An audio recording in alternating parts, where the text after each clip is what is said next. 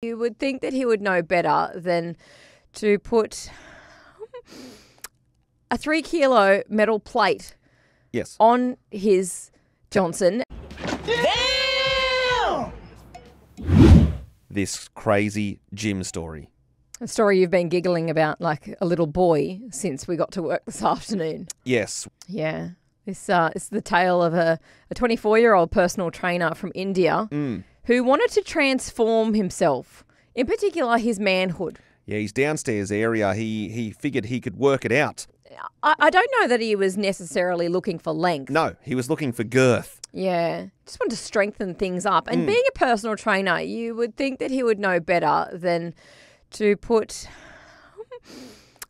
a three kilo metal plate Yes. on his Johnson. And Yeah. I'm talking about the type of weight that you would put on the end of a barbell that has the hole through the middle of it. So he put his bits straight through the hole. Yeah, he's uh, just shoved the tallywhacker straight through the hole Mm. in the middle. Uh, while it was not excited, No. then he thought, well, how am I going to work out uh, How do I lift said weight? with my slug? so he tickled the slug Eh. a little bit to get the slug a little bit excited and, and, and somewhat rigid, Hmm. thinking that then he could lift the weight. But then it started swelling a little bit too much. And then the problem is he couldn't remove Uh-uh. the equipment Nope. from the piece of gym equipment.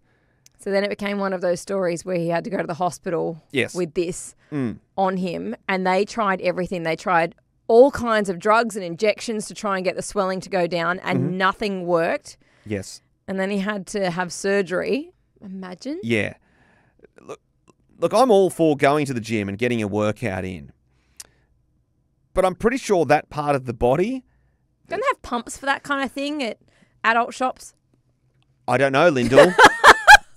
I wouldn't know, but I would definitely, if they were available, probably try that before sticking my gear through a hole in a plate at the gym. Yes.